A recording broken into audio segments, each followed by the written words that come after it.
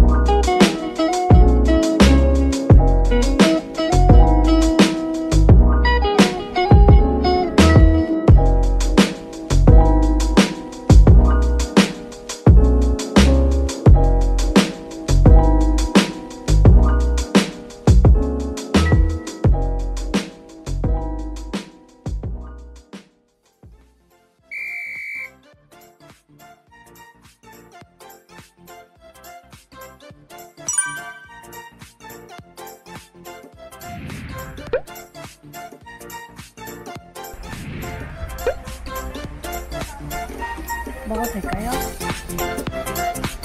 네.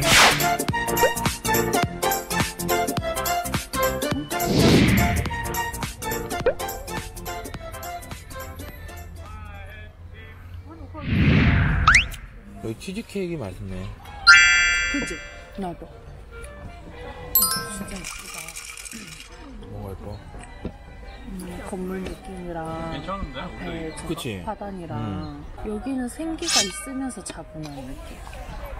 여기는 오빠 어떤 느낌이냐면 한국 정서랑 서양 정서가 믹스된 느낌.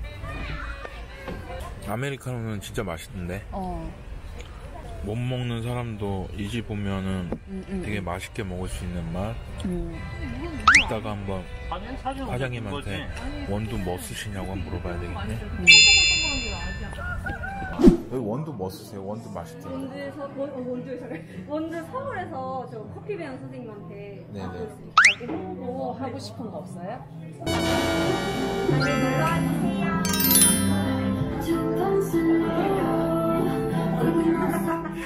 이 집의 평가 커피 아메리카노는 5점 만점 중에 5점이랍니다. 근데 이게 호불호가 갈리, 갈리겠어. 커피를 어, 좀 순한 맛을 좋아하는 사람은 5점.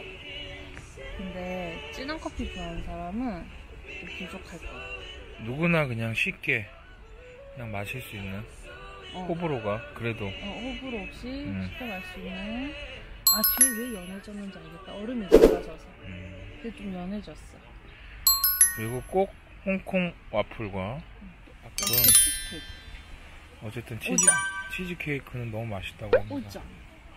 그리고 여기 외관과 야외 카페 분위기도 와우. 블로그에 있는 사진들보다 이렇게 직접 와서 있는 게 더 실감나고 더 좋았다는 평. 내 블로그보다 훨씬 좋아요. 그럼 평점 5점 만점 중에 총 털어서 여기는 4점 맛집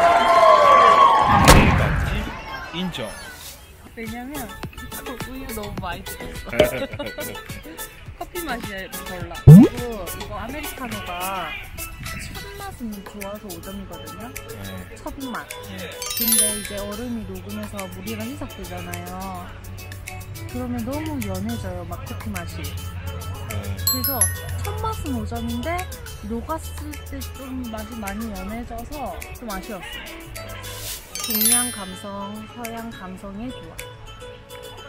보통 이런 갬성이라 죠 갬성.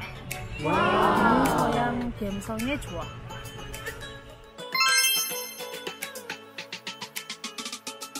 다음 주에 봬요.